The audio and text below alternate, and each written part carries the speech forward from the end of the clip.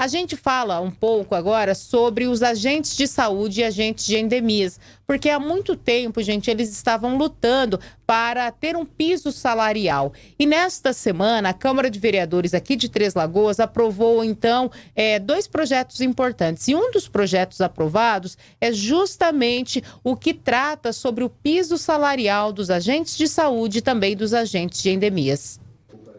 O primeiro projeto aprovado na sessão desta terça-feira da Câmara de Vereadores é o que prorroga o programa que prevê o pagamento parcelado ou sem juros dos tributos municipais. No ano passado, eh, nós aprovamos em dezembro esse projeto que criou vários benefícios para que os cidadãos possam eh, suprir as suas demandas financeiras junto à municipalidade, ou seja, as dívidas, dando aí desconto, prazo, eh, prorrogação. E esse prazo foi até junho.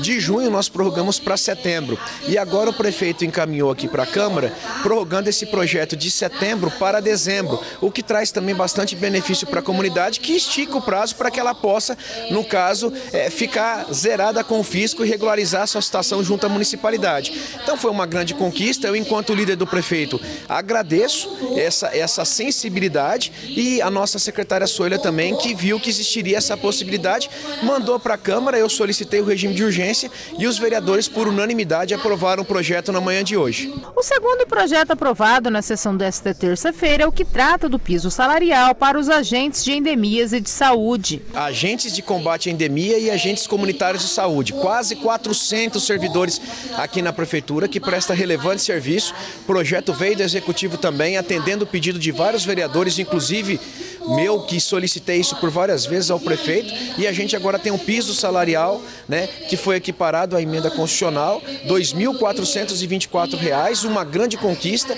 Isso significa reconhecimento, valorização do servidor e a gente espera que nos próximos dias, nos próximos meses, nós tenhamos ainda melhores notícias para essa categoria que é de extrema importância para a nossa cidade. A aprovação do projeto foi acompanhada por agentes de endemias e de saúde. O coordenador do setor de endemias, Alcides Ferreira esteve presente e falou da importância. É um projeto muito importante, porque essa, essas categorias fazem um trabalho muito importante para a comunidade é, e para a saúde pública, então eles são merecidos, então é, a gente vem aqui para apoiar, é, acompanhar e realmente saiu aprovado por unanimidade um direito que eles têm e que vai favorecer a categoria.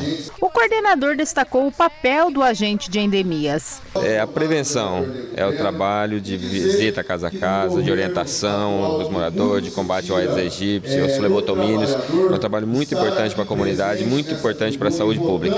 Hoje eles são respeitados? As pessoas respeitam o trabalho dos agentes? Com certeza. É, a maioria da população respeita muito esse trabalho, recebe muito bem o agente. É isso que a gente sempre tem pedido à população.